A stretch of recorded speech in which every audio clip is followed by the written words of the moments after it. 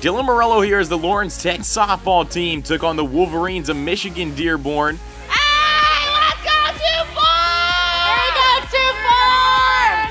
The Blue Devils are riding high as they come into tonight's matchup on a two-game winning streak.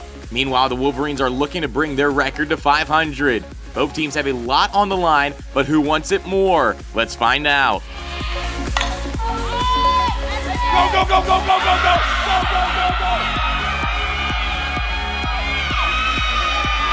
Starting with game one, we'll jump to the bottom of the third. Freshman Nicole Prosek steps up to the plate and pops one straight down the left side, and junior Sarah Hyde runs in for the first score of the game, score 1 to 0 at the end of the third. Moving along to the top of the fourth inning, where the Wolverines would score twice and take the lead 2 to 1, but not for long as Dakota High School native Aaron Wheeler steps up to the plate and blasts ones over the fence for a Blue Devil home run.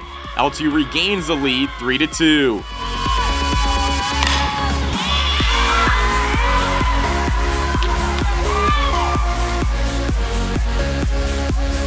Jumping ahead to the bottom of the fifth inning here, Blue Devils still lead 3 to 2, but a double send sophomore Lauren Lanfair home for two more runs, score now 5 to 2. Lawrence Tech would grab the lead and not look back, handling business and winning game 1 6 to 2 the final score.